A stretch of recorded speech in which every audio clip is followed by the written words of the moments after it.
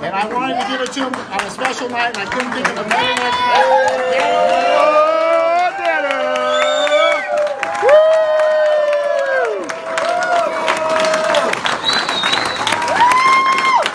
yeah!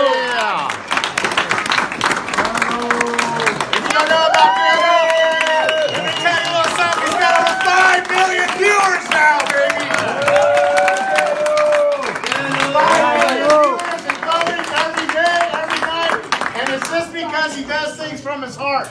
He gives back to the community, just like the car club. He comes down here not because it's a job, but because he loves it. He loves you guys, and he makes it possible for us to all have memories and create memories and keep them. So, Daniel, Daniel. say something, baby. Yeah.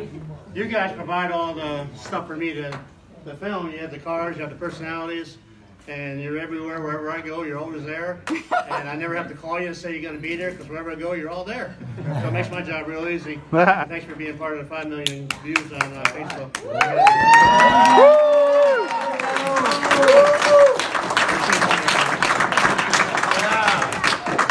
I love you, Dan. I'm better behind the camera. And so, real quick, because we got to, we're, we're right on schedule. I'm happy with the time, but really quick, uh, the new guys who haven't been here tonight.